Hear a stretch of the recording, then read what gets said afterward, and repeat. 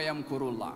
Mereka ingin melakukan tipu muslihat tapi tipu muslihat itu dikembalikan oleh Allah kepada diri mereka sendiri. Demikian kumpulan daripada mereka orang-orang kufar Quraisy yang ingin melakukan tipu muslihat untuk membunuh kepada Rasulullah sallallahu alaihi wa ala alihi wasallam. Baginda Rasulullah diizinkan oleh Allah untuk keluar daripada rumahnya di saat kaum musyrikin sedang berhimpun di hadapan rumah Nabi. Tidakkah boleh Jibril datang kepada Rasulullah? Keluarlah sebelum uh, mereka berhimpun di hadapan rumah Nabi? Tidakkah sehari sebelum atau dua hari sebelum atau seminggu sebelum sementara perancangan itu sudah diatur oleh kaum musyrikin di Darun Nadwah? Wa yamkuruna wa yamkurullah. Mereka ingin melakukan tipu muslihat tipu muslihat itu dikembalikan oleh Allah kepada mereka Allah suruh Nabi keluar di malam hari itu juga di saat kaum musyrikin berhimpun di hadapan rumah baginda Rasulullah dan Nabi keluar pada malam itu juga bukan lalu pintu belakang tapi dari pintu hadapan.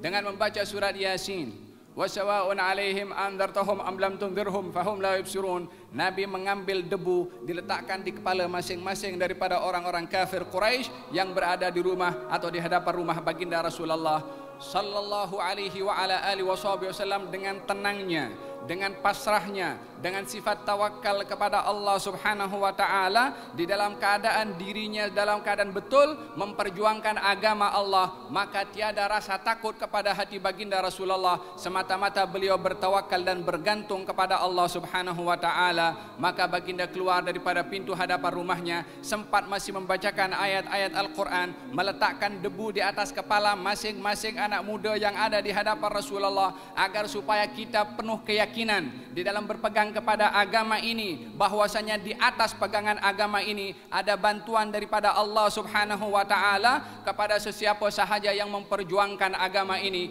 Bukankah Allah di dalam Al-Qur'anul Karim menjanjikan pertolongan kepada baginda Rasulullah bahwasanya agama ini akan berjaya di saat Nabi dalam keadaan lemah di saat Nabi dalam keadaan diusir di saat Nabi dalam keadaan tidak mempunyai kekuatan Allah menjanjikan kemenangan dan kejayaan kepada agama ini sebagaimana Allah Subhanahu wa taala sebutkan dalam Al-Qur'an. Dan dikutip sebentar tadi bahwasanya illa tansuruhu faqad nasarahullah. Kalau kamu tidak tolong kepada Nabi Muhammad sallallahu alaihi wa ala alihi wasallam Allah sudah pun tolong kepadanya. Janji Allah untuk menolong kepada baginda Rasulullah bila? Illa tansuruhu faqad nasarahullah. Id akhrajahu alladhina kafaru. Thaniya thnain id huma fil ghar. Id yaqulu li sahibihi la tahzan. Innallaha ma'ana. Fa anzalallahu sakinatahu alayhi wa ayyadahu bijunudin lam tarawha.